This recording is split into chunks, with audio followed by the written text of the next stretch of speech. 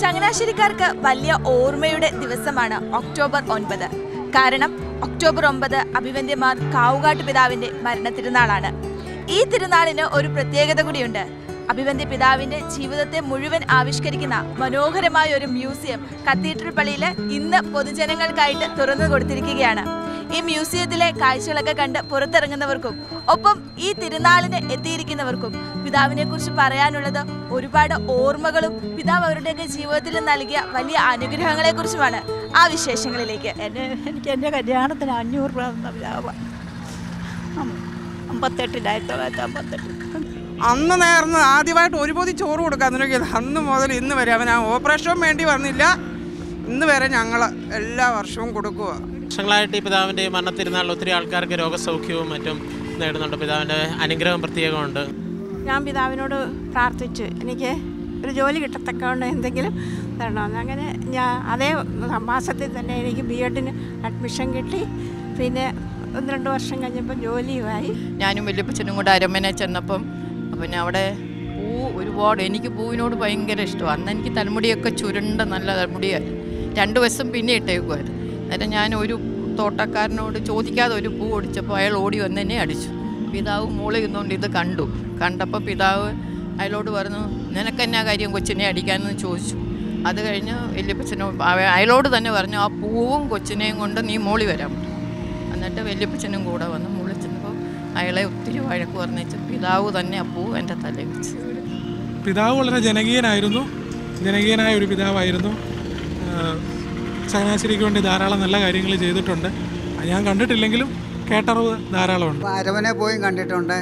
പിന്നെ മരിച്ച സമയത്ത് പോയി കണ്ടു. പിന്നെ ഈ ചന്തക്കടവ് വഴി ചുറ്റി സഞ്ചരിച്ചപ്പോഴത്തേന് റാസ പോലെ. അത് അങ്ങനെ കണ്ടു. പിന്നെ പള്ളിയിൽ കൊണ്ട് അടക്കം ചെയ്തപ്പോഴും കണ്ടു. ഞാൻ സെമിനാരി ചേർന്നപ്പോൾ എന്നെ സെമിനാരിലേക്ക് എടുത്തത് കാവുകാട്ട് പിതാവാണ്.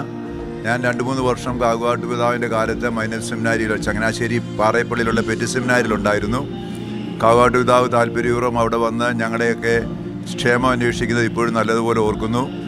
ആദ്യത്തെ വർഷം ഞങ്ങളുടെ ഗ്രൂപ്പ് ഫോട്ടോയ്ക്ക് ഇരുന്നത് ഞാൻ നല്ലതുപോലെ ഓർക്കുന്നു. പിന്നെ ഒരിക്കൽ അവിടെ വന്ന് ഞങ്ങളുടെ സെമിനാരിയെല്ലാം വൃത്തിയായി സൂക്ഷിക്കേണ്ട ആവശ്യകതയെക്കുറിച്ച് ഞങ്ങൾക്ക് പറഞ്ഞു തന്നത് ഞങ്ങൾ വ്യക്തമായിട്ടും ഓർക്കുന്നു.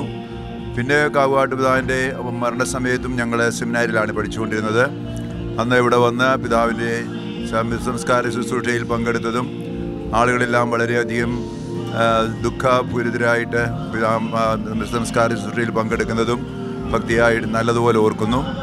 പിന്നെ ഞങ്ങൾ ആ സെമിനാരിയിൽ ചേരുന്നതിന് മുൻപ് ഞങ്ങളുടെ വീട് ആലപ്പുഴയാണ്. ആലപ്പുഴയിൽ പിതാവ് വരുമ്പോൾ ഞങ്ങൾ താല്പര്യപൂർവം ഓടിച്ചെന്ന് പിതാവിന്റെ കൈമുത്തിയതൊക്കെ ഓർക്കുന്നു. നമ്മളോടൊപ്പം ചേരുന്നത് കാവുകാട്ട് കുടുംബാംഗങ്ങളാണ്.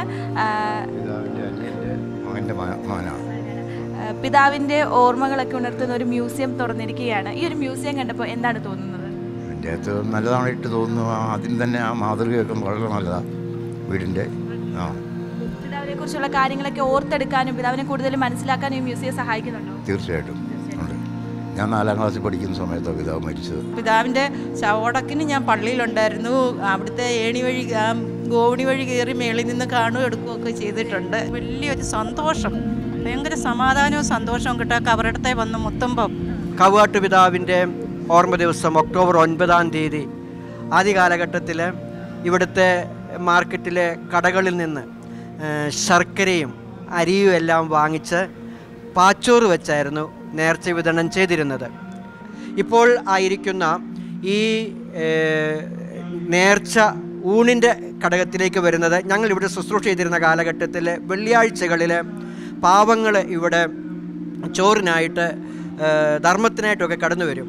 അപ്പോൾ അവർക്ക് പണം കൊടുക്കുന്നതിനേക്കാൾ ഉപരിയായിട്ട് ഏതെങ്കിലും ഒരു ഹോട്ടലിൽ നേരത്തെ ബുക്ക് ചെയ്തുകൊണ്ട് അവർക്കൊരു ചിട്ടു കൊടുത്ത് അവിടെ പോയി വെള്ളിയാഴ്ച ഉച്ചഭക്ഷണം കഴിക്കുക എന്നുള്ള ഒരു ക്രമീകരണമാണ് നടത്തിയിരുന്നത്. തുടർന്ന് ഓരോ വീടുകളിൽ നിന്ന് നേർച്ചയായിട്ട് ഒന്നോ രണ്ടോ മൂന്നോ സൗകര്യപ്രദമായ രീതിയിൽ പൊതി ഇവിടെ കൊണ്ടുവന്ന് നേർച്ച കൊടുക്കുന്ന ഒരു ക്രമീകരണം ഒരു കുറച്ച് നാളുകളായിട്ട് തുടർന്നിട്ടുള്ളൂ എന്നുള്ളത് ഞാൻ ഓർക്കുന്നു.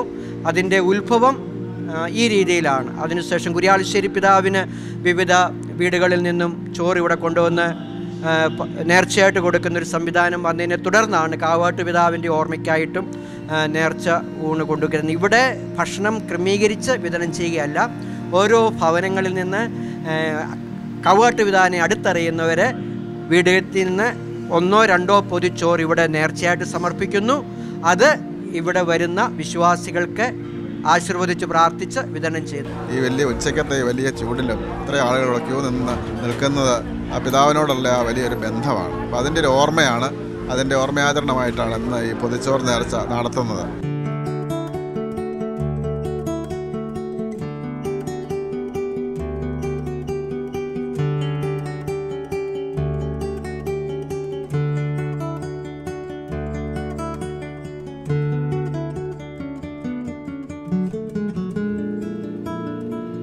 കണ്ട് കേട്ടും ഇവിടെ എന്റെ വീട്ടിലുള്ളവരെല്ലാം കൊടുത്തോണ്ടിരുന്ന ചോറ്. എല്ലാ വർഷവും പൊതിച്ചോറ് കൊടുക്കും. ഇങ്ങനെ പൊതിച്ചോറ് കൊടുക്കും. അത് കഴിഞ്ഞിട്ട് അവർ പൊതി മേടിച്ചു ഉണ്ണും. വീട്ടിലുള്ളവർ ഒരാൾക്ക് ഒരെണ്ണം മേടിച്ചോണ്ടും പോകും അമ്മച്ചി എല്ലാ വർഷവും ഇവിടെ വന്ന് പൊതിച്ചോറ് വാങ്ങിക്കാറുണ്ട്? ഉണ്ട് ഞങ്ങൾ കൊണ്ട് കൊടുക്കുകയും ചെയ്യും. കൊണ്ട് കൊടുക്കാറുണ്ട്. ഈ വർഷം കൊണ്ടുവന്നിട്ടുണ്ട് മോൻ കൊണ്ടുവന്ന് കൊടുത്തു. കാവാട്ട് വിധാനല്ലേ ഇതെല്ലാം കൊടുക്കുന്നത്? അപ്പോൾ അതിനുള്ള അനുഗ്രഹം നമുക്ക് കിട്ടും. മനസ്സിന് സന്തോഷം തോന്നും ഇവിടെ ഒന്ന് പൊതി കൊടുക്കുമ്പോൾ പിന്നെ പൊതി മേടിച്ച് കഴിക്കുമ്പോഴൊക്കെ. മുപ്പത്തേഴ് വർഷമായിട്ട് വരുന്നുണ്ട്. മൂന്നാം ക്ലാസ്സിൽ പഠിക്കുമ്പോൾ ഈ പ്രൈമറി സ്കൂളിൽ പഠിക്കുമ്പോൾ എന്നെ ഞാൻ ഒരു ഉഷ എന്ന് പറയുന്ന ഒരു ലേഡി എന്നെ കയ്യിൽ സ്വർണവളയുണ്ടായിരുന്നു. അപ്പോൾ അത് കണ്ടിട്ട് സ്കൂളിന്റെ ഗേറ്റിന്റെ വരാന്തേന്ന് ഇറങ്ങി വരുമ്പം തന്നെ എന്നെ പിടിച്ചുകൊണ്ട് പോയി. മമ്മ അന്നേരം ഒന്ന് പത്തായിട്ടും എന്നെ കാണാഞ്ഞ കാരണം മമ്മ ഈ സ്റ്റെപ്പ് കയറി മറ്റേ സ്കൂളിൽ നിന്ന് ഇങ്ങോട്ട് കയറി വന്നു. സ്റ്റെപ്പ് കയറുമ്പോഴേ എന്റെ അമ്മ പ്രാർത്ഥിച്ചത് പത്ത് മിനിറ്റിനുള്ളിൽ എന്റെ കുഞ്ഞിനെ കണ്ടു കിട്ടണേ എന്ന് പ്രാർത്ഥിച്ച് അമ്മ ഒത്തിരി അങ്ങോട്ട് വിഷമിച്ച് പിതാവിനെ അതുപോലെ പ്രാർത്ഥിച്ച് കയറി വരുന്നത്. അന്ന് തൊട്ട് എന്റെ അമ്മ ഈ സ്റ്റെപ്പ് കയറുമ്പോൾ അടിമ വെച്ച കാവുകാട്ട് പിതാവിന്. എന്റെ അമ്മ അടിമ വെച്ചിട്ടുണ്ടെങ്കിൽ എനിക്ക് എല്ലാ വർഷവും ഇങ്ങനെ ഈ പള്ളി വരാനും പ്രാർത്ഥിക്കാനും എല്ലാം ഒരു സുവർണ അവസരമായിട്ടാണ് ഞാൻ അതിനെ കരുതുന്നത്. ആരെയും സ്വീകരിക്കുന്ന ഒരു സ്വഭാവം പിതാവിനുള്ളത്. ദൈവത്തോടു കൂടി വസിച്ച ദൈവദാസനായ കാവാട്ട് പിതാവ് പ്രാർത്ഥനയിൽ ദൈവത്തോടൊപ്പം വസിച്ചു. വിശുദ്ധി നിറഞ്ഞ ജീവിതം ശാന്തശീലനായിരുന്നു. ഒത്തിരി സഭയിലെ വലിയ സ്ഥാനമാനങ്ങളൊക്കെ തേടി വന്നിട്ടും അതിനെയെല്ലാം മാറ്റി നിർത്തിക്കൊണ്ട് ചങ്ങനാശ്ശേരിയിലായി തീർന്നു ഏഹ് രോഗത്തിന്റെതായ ചില ബുദ്ധിമുട്ടുകളും അതിന്റെ സഹനങ്ങളൊക്കെ ഉണ്ടായിരുന്നു. അതെല്ലാം സന്തോഷപൂർവം സ്വീകരിച്ച് ഈ ലോകത്തിൽ നിന്നും പിതാവ് വേർവിരിയാണ് ചെയ്തത്.